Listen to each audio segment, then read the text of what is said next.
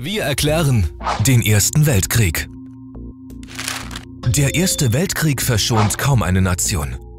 40 sich bekriegende Staaten und 17 Millionen Todesopfer sind die traurige Bilanz. Doch wie kommt es zu so einer vier Jahre andauernden Tragödie? Der Auslöser ist der sprichwörtliche Tropfen, der das Fass zum Überlaufen bringt. Am 28.06.1914 verüben serbische Untergrundkämpfer ein tödliches Attentat auf den österreichisch-ungarischen Thronfolger Franz Ferdinand und seine Frau. Die ohnehin schon angespannte Situation zwischen den beiden Nationen eskaliert. Die Österreicher sehen sich zu einer Reaktion gezwungen. Um aber gegen Serbien vorzugehen, benötigen sie Hilfe. Diese Rückendeckung bietet das Deutsche Kaiserreich. Kaiser Wilhelm II. sagt Österreich-Ungarn bedingungslose Unterstützung zu. Die Serben wiederum sind sich der Hilfe Russlands im Kriegsfall sicher. Mit einem so starken Verbündeten sehen sie keinen Grund zu einer friedlichen Einigung. Die Österreicher erklären Serbien am 28. Juli 1914 den Krieg und ziehen so das Deutsche Reich und Russland mit in den Konflikt. Kaiser Wilhelm II. fürchtet zu Recht, dass die Kriegserklärung an Russland auch andere Nationen gegen ihn aufbringen könnte. Deshalb will er Frankreich vorsorglich angreifen und besiegen.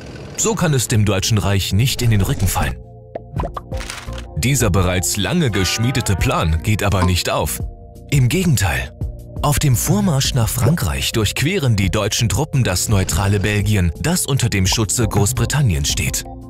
Die Engländer erklären daraufhin den Deutschen den Krieg. Dies zwingt das Deutsche Reich zu einem ermüdenden Stellungskrieg an zwei Fronten.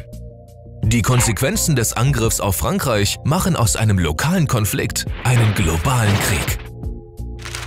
Das deutsche Heer übersteht das Dauerfeuer von beiden Seiten, obwohl das Material knapp und die Soldaten müde werden, bis zu einem entscheidenden Vorfall. Am 1. Februar 1917 beschließt das Deutsche Reich, den unbeschränkten U-Boot-Krieg aufzunehmen. Daraufhin erklären die USA den Deutschen am 3. Februar den Krieg. Ausgeruhte amerikanische Soldaten mit besserer Ausrüstung zwingen das Deutsche Reich in die Knie. Die deutsche Bevölkerung ist kriegsmüde und protestiert. Soldaten streiken und verweigern ihre Befehle. Die Flucht Wilhelms II. ins holländische Exil bedeutet das Ende der Monarchie. Am 11. November 1918 wird der Waffenstillstand unterzeichnet.